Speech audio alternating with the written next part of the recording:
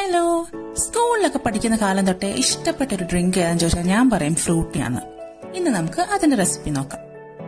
നമുക്കതിനായിട്ട് പഴുത്ത മാങ്ങ പച്ചമാങ്ങ പഞ്ചസാര വെള്ളം കൊണ്ട് ചേർത്ത് ഒരു പത്ത് പതിനഞ്ച് മിനിറ്റ് അടച്ചു വെച്ചൊന്ന് തിളപ്പിച്ച് വേവിച്ചെടുക്കാം.